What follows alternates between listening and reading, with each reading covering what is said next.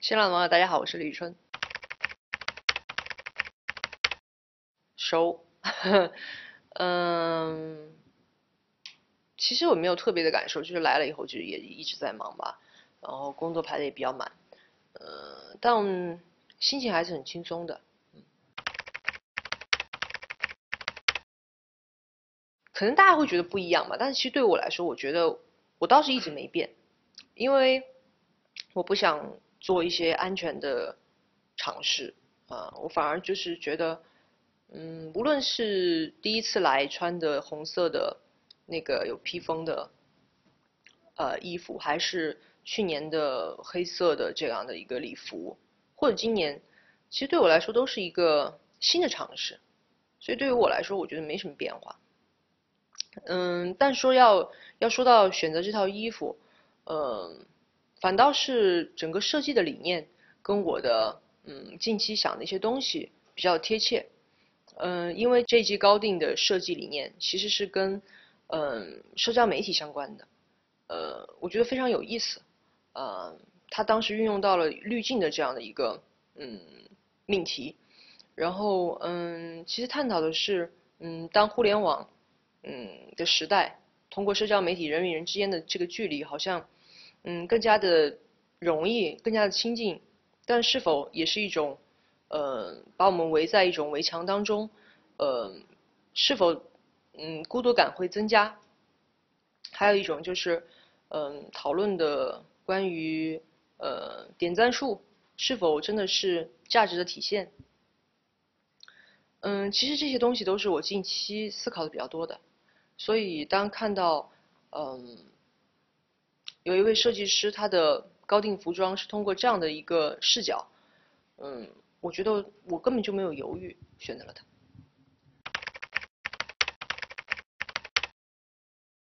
嗯，其实我觉得我做的不太紧，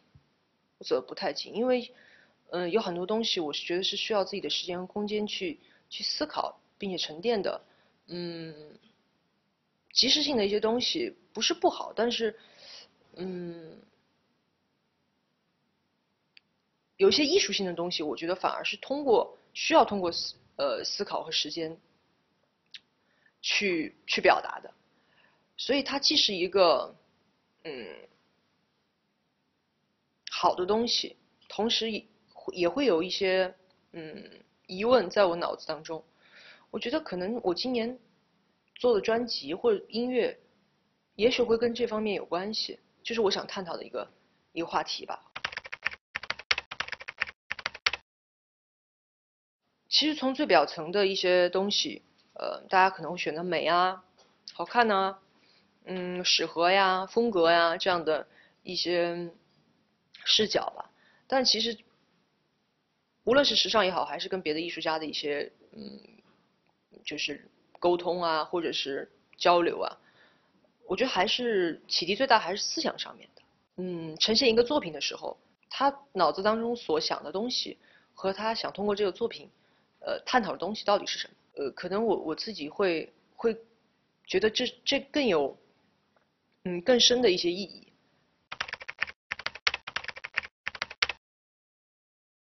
会聊音乐。呃，其实不是每一个从事自己工作的人，他只会从事这一个领域。就像之前呃聊的一些，嗯，可能是通做装置的艺术家或者做视觉艺术家，其实他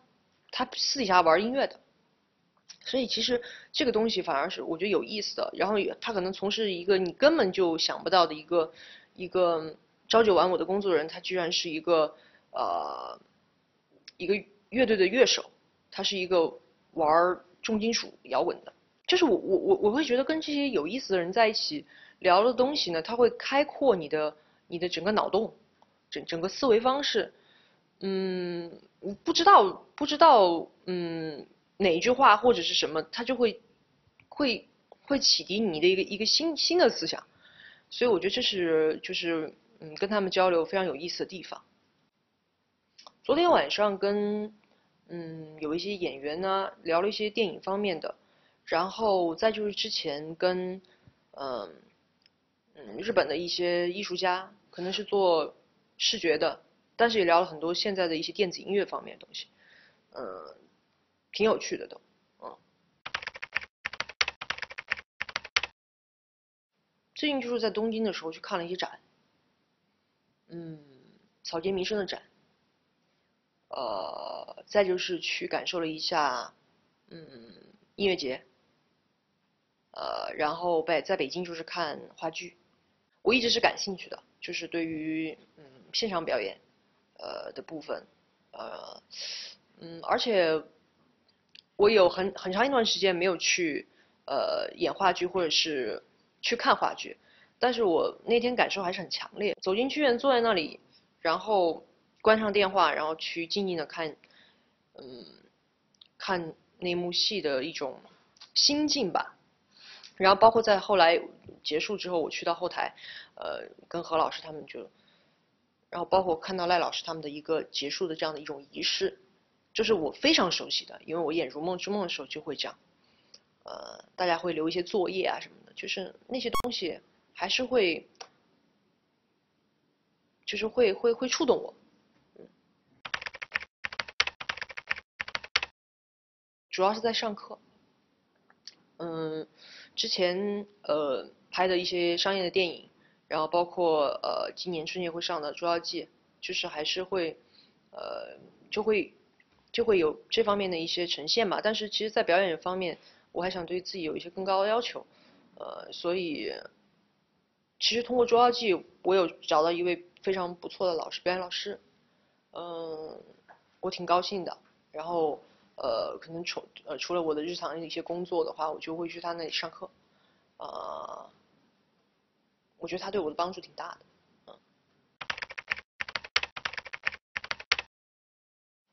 这张嗯翻唱精选集其实是集合了我以往演唱会呃上面翻唱的一些呃作品。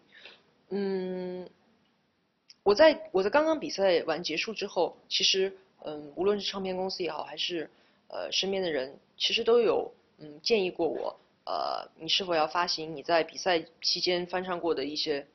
所谓的很红的歌曲吧？但是我觉得那是一个嗯，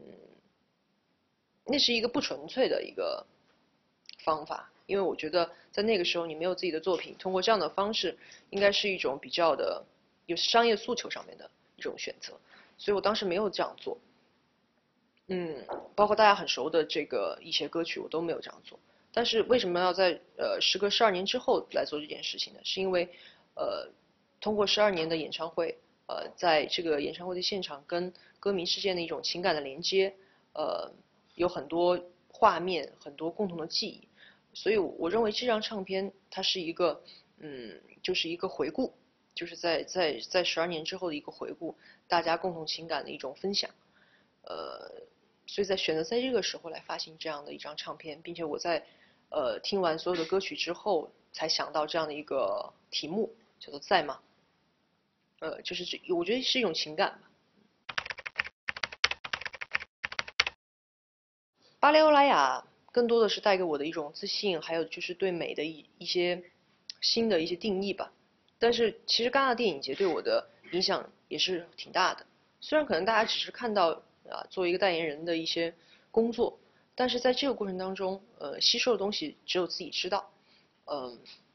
无论是演技方面的，还是呃嗯电影人们在这个嗯戛纳电影节对电影的一种尊重，对电影的一种呃彼此的交流，还有这种开幕式开幕仪式上面的一些。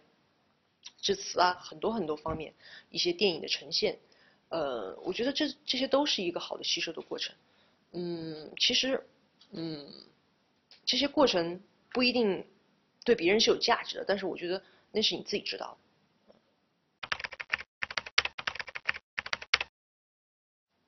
呃，昨天会比较早一点，因为昨天没有安排呃其他的工作，然后但是有一些拍摄，欧莱雅的一些拍摄。所以呢，就是相对早一点点，呃，大概是从下午一点多还是两点左右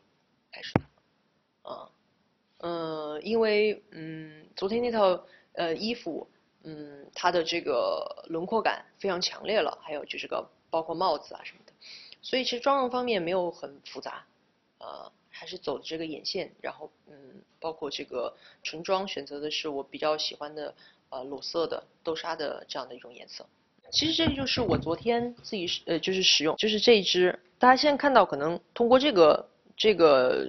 感官去看的话，可能会觉得有点浓郁，但实际上它嗯在这个唇上的颜色是比较清淡的，呃也蛮好看的，对。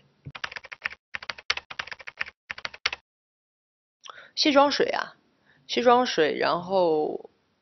有的时候会带眼线笔，因为很很方便。